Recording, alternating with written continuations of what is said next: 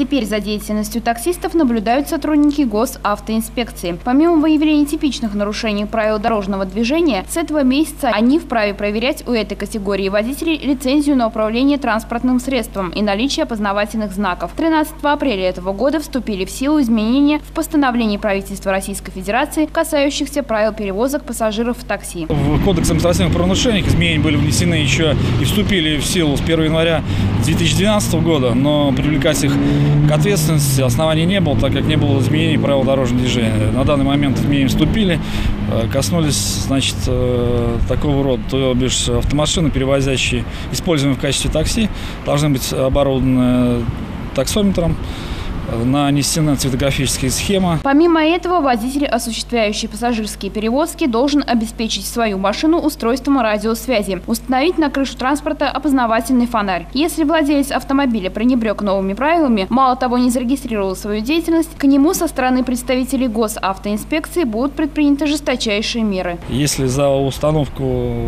фонаря такси только за установку предусматривается штраф, штраф в размере 2500 рублей.